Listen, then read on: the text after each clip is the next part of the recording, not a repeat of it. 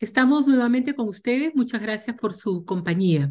Esta semana vamos a conversar sobre el conflicto que atraviesa el Perú y el factor externo, que es absolutamente importante, pues la comunidad global está absolutamente conectada.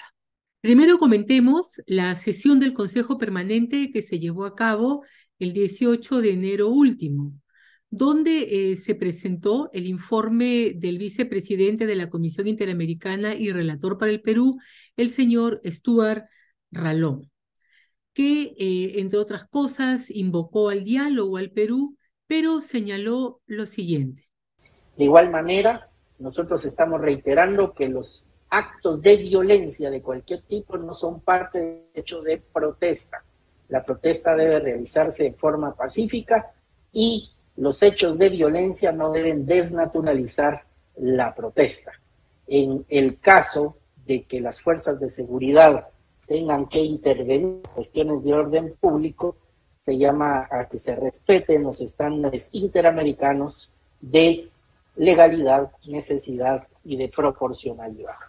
Como ustedes pueden apreciar, la posición de la CIDH es bastante clara, investigaciones, pero a la par la protesta tiene que ser pacífica.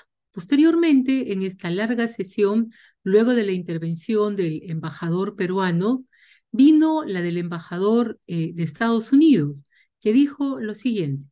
Uh, and we continue to support the ongoing efforts of this organization and the Commission to engage in dialogue with relevant stakeholders, to be as relevant as we can in the process through which the Peruvian government and its people are going through.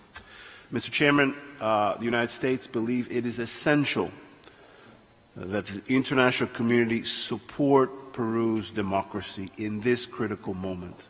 En síntesis, concluida la sesión del Consejo Permanente, el Perú salió con el apoyo de la Organización de Estados Americanos, donde incluso el secretario general se puso a disposición del Perú para poder apoyarlo en el proceso de diálogo y otras actividades que se tengan que hacer. Es decir, primera escalada resultó crítica pero favorable al Perú.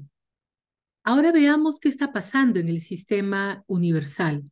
En el sistema universal, Perú recurrió al Consejo de Seguridad y a otras instancias de dicho organismo mundial. Sin embargo, la respuesta formal ha sido que la situación de violencia en el Perú y lo que está pasando, la conducta del Estado y otros temas, va a ser analizada en el contexto del examen periódico universal, lo que se conoce como el EPU y que comenzaba el día lunes 22 de, eh, de enero en Ginebra. Perú tiene programada su primera intervención para el miércoles 25 de enero.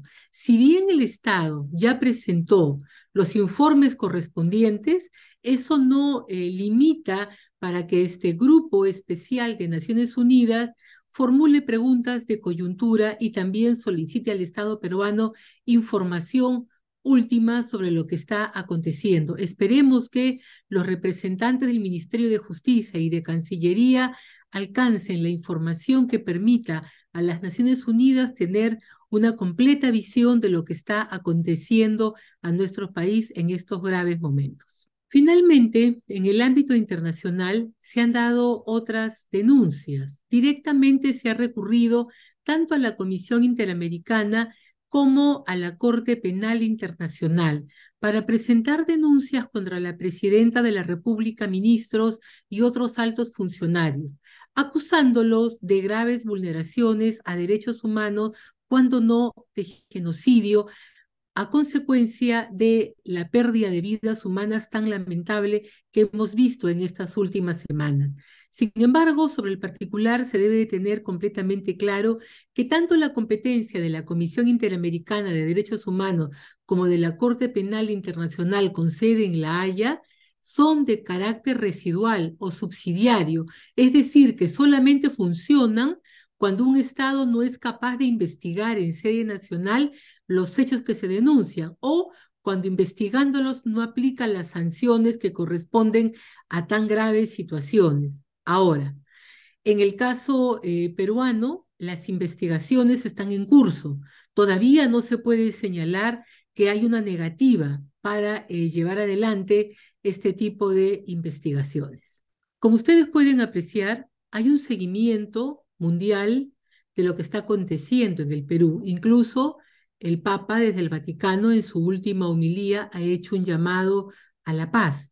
Es muy importante que en ese contexto el Estado peruano, es decir, el gobierno, comunique a la opinión pública mundial, a los organismos supervisores de derechos humanos, a los medios de comunicación, qué cosa es lo que está ocurriendo en el Perú, qué tipo de violencia es la que está asolando a nuestra patria, la carencia de líderes que den la cara y sobre todo los esfuerzos que se están comenzando a realizar para comenzar con un proceso de diálogo, que como hemos señalado no es con los líderes violentistas, sino con los más diferentes sectores de la sociedad que está siendo afectada por esta asolada de violencia que esperemos pueda controlarse y retomemos la vida en paz como corresponde a un pueblo trabajador y emprendedor como el peruano. Buenos días.